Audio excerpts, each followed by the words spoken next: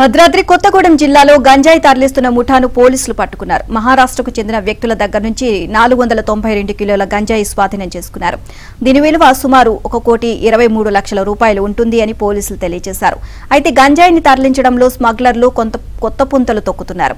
ఇక స్మగ్లర్లు సినిమా స్టైల్లో డీసీఎం వెనుక భాగంలో ప్రత్యేక అరను తయారు చేయించారు.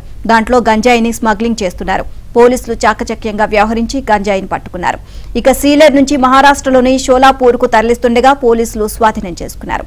ఈ ఘటనలో నలుగురు వ్యక్తులపై పోలీసులు కేసు నమోదు చేశారు.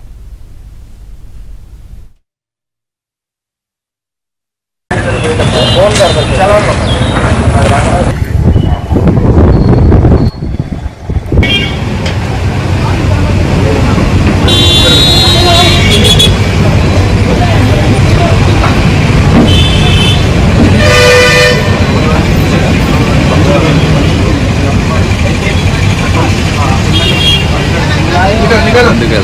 어제 발가락만 안 들어?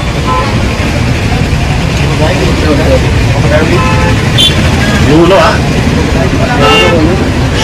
서울이나 왼쪽. 위로. 이거 이거 이거.